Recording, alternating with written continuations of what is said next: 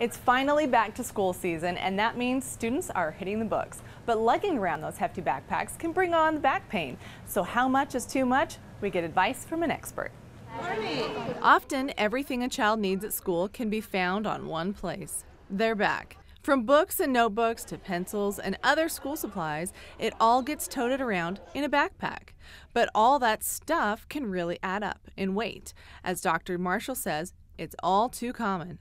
We're starting to see more and more back pain complaints in the doctors in the sports medicine offices. And the question is, is there a correlation between uh, backpacks and, and back pain? Marshall is demonstrating how he advises his own daughter to properly wear hers. The way she has adjusted out, it's way too low. The weight of the backpack should never be any lower than the waistline. So the straps need to be adjusted so the, so the backpack fits high up on her shoulders. The shoulder straps need to be two of them, not just one and also they need to be wide and padded. He recommends the use of an abdominal strap. That will also help redistribute the load evenly across the child's back and not have the effect of 10 pounds pulling back on their on their shoulders then. Experts recommend that backpacks not weigh more than about 10 to 15 percent of the student's body weight.